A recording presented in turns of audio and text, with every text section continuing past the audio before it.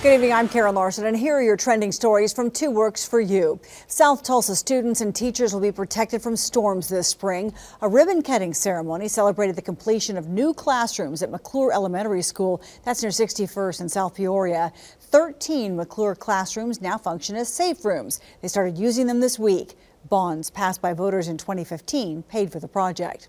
Federal employees can turn to the Tulsa Federal Credit Union for help during the shutdown. The credit union says the unpaid workers simply have to come in to ask.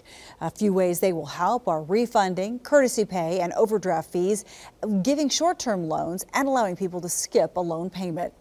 An Oklahoma-based disposal company is ordered to pay employees thousands of dollars in back wages. The Oklahoman reports that the Department of Labor is making Backyard Energy Services pay more than $250,000. The company is accused of violating overtime and child labor laws for hiring a teenager to operate a track hoe.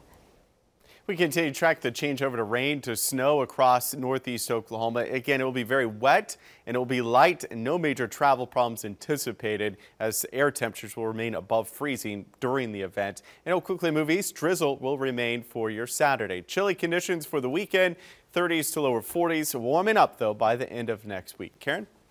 All right. Thank you, Mike. And thank you for turning to us for news and weather information that you need. You'll find more on our mobile app and website, kjrh.com. And we'll bring you another update here after 9 tonight.